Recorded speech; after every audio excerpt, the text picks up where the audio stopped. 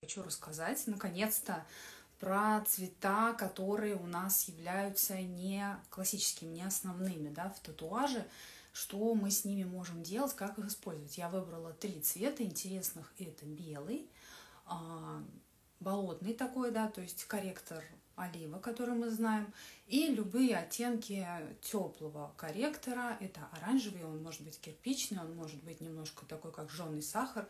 В любом случае, это теплый корректор. То есть у нас с вами три цвета на разбор.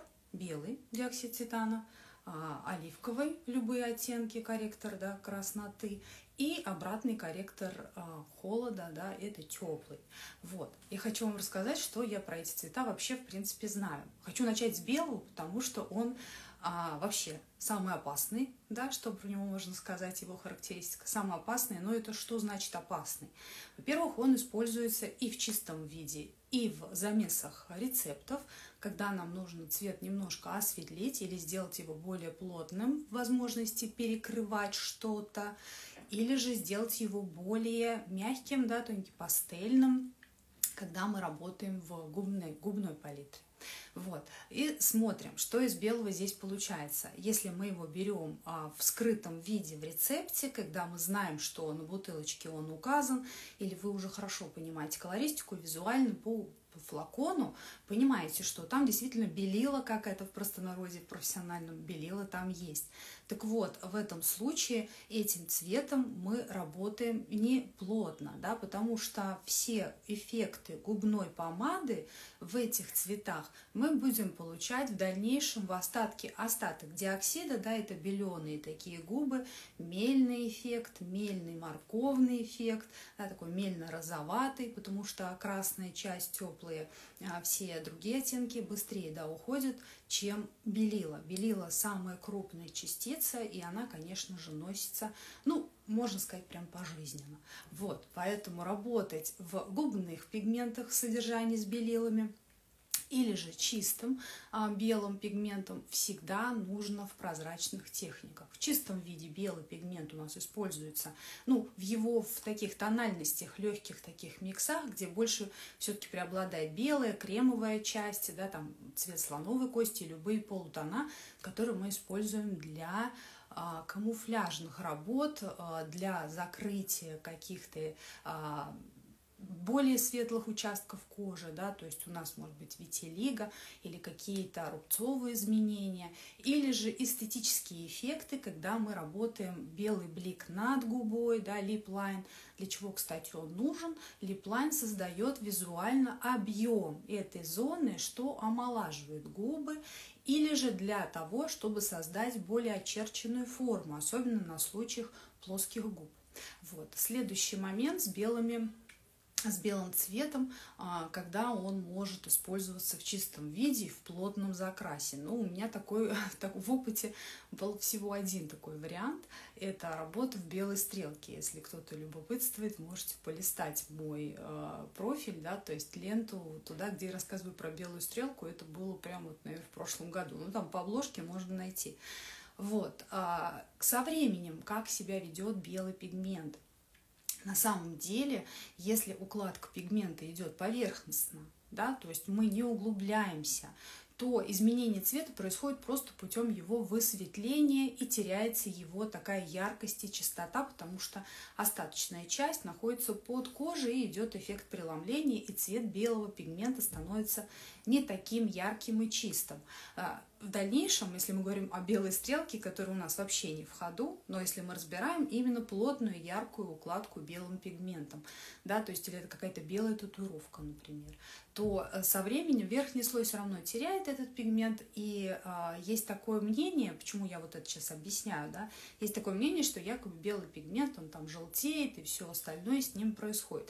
На самом деле изменение самого цвета пигмента, не только белого, любого другого, зависит, во-первых, от его количества в кожи в остаточном да, варианте, уже потом в процессе носки, и зависит от цвета самой кожи на том участке, куда он уложен. Поэтому вы, в принципе, можете это уже просчитать. Вот. С белым цветом также мы работаем за создание бликов в любом участке да, на лице. Это, как я сказала, над губой, да, это может быть какой-то эффект под бровью, это может быть какие-то а, работы по зонам высветления да, синяков, где нужно очень-очень вуально, аккуратно работать, эту технику нужно осваивать, да, то есть просто так нельзя. Поэтому очень многие боятся, что работа а, с камуфляжем синяков под глазами а, якобы такая вот ну, как агрессивная, да, то есть она агрессивная, она негативная, и очень многие ее боятся, не любят.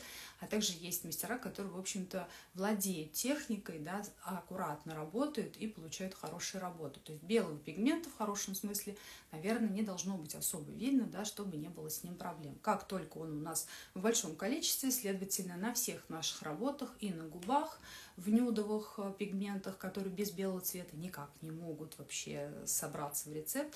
Поэтому здесь работа должна быть во всех смыслах очень легкая и прозрачная.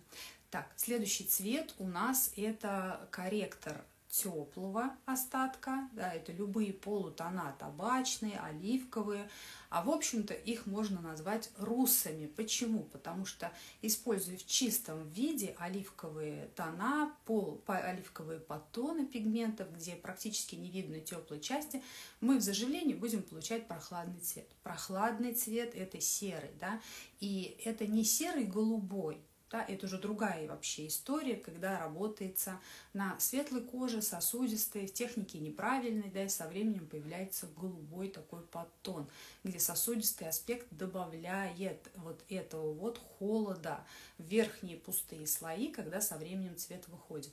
И также, когда в глубокой укладке, слишком глубоко пигмент лежит верхние слои, а как бы освобождаются, и у нас получаются холодные синеватые голубоватые стрелки. Поэтому это вот если мы говорим про такую синеву голубизну, а когда мы говорим про чистый корректор оливковый, мы можем получить пепельные брови, да, русые брови, просто на нейтральный такой прохладный цвет. Где мы с вами используем оливковый корректор, конечно же, на теплых остатках когда нам нужно теплый остаток нейтрализовать в более-менее нейтральный, да, потому что теплая составляющая.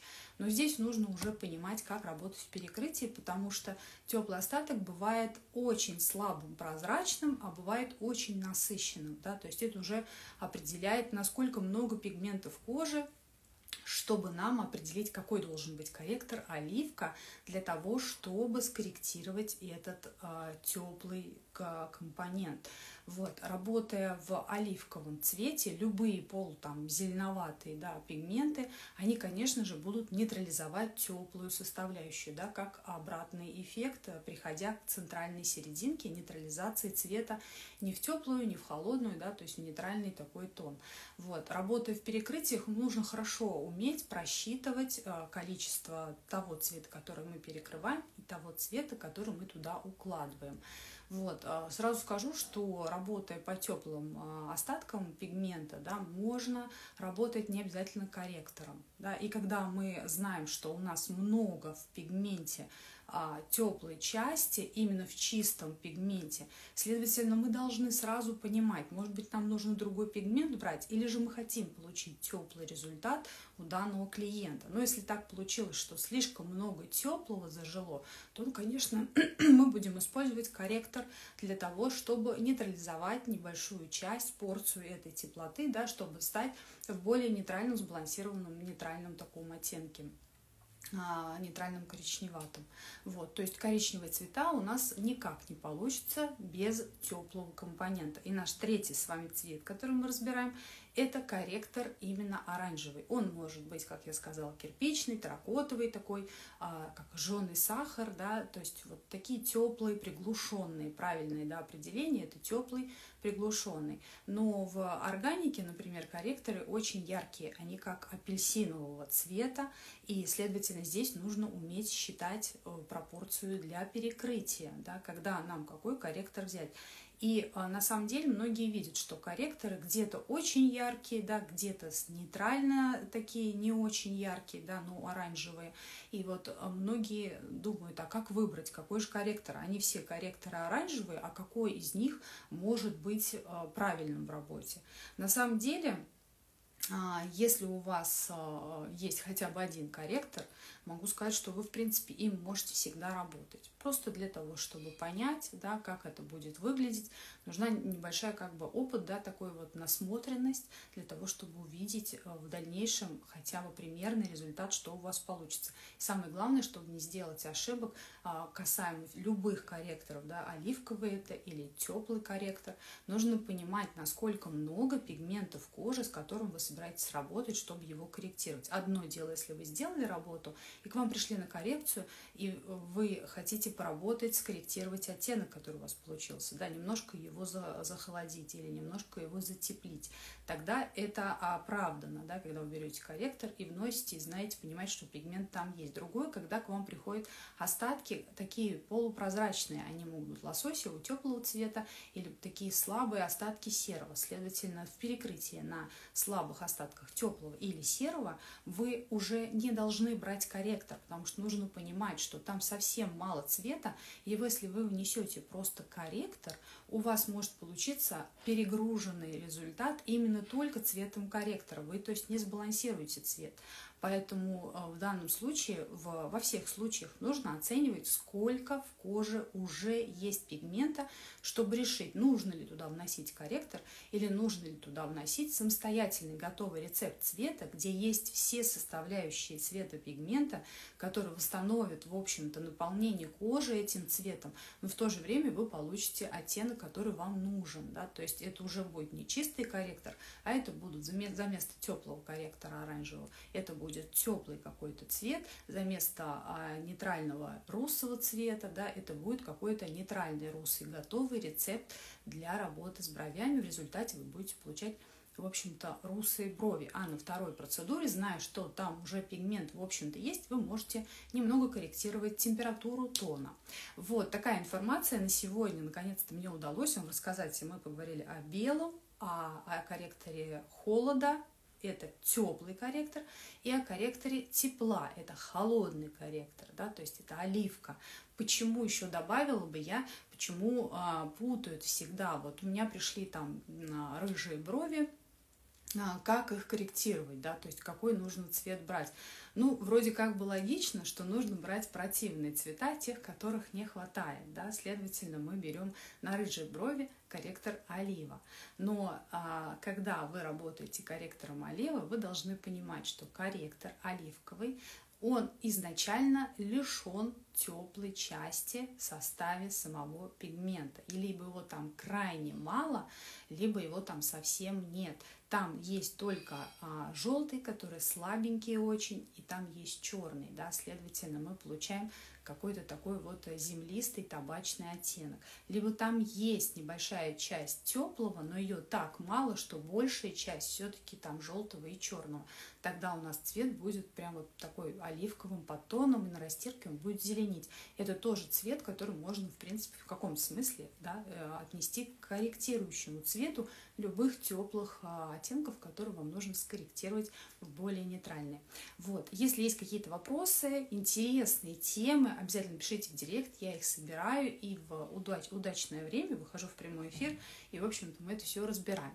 По обучению пишите, пожалуйста, в директ, также по наличию каких-то отдельных уроков, программ, семинаров, отдельных э, курсов, мини-курсов или обширных курсов. По любым темам пишите в директ, я вам объясню, как э, выбрать, как оплатить, да, то есть оплата у нас не через сайт, а через меня. То есть на все вопросы отвечаю я лично, поэтому увидимся с вами скоро и присылайте вопросы интересных тем для разбора сюда в прямые эфиры. Всем пока!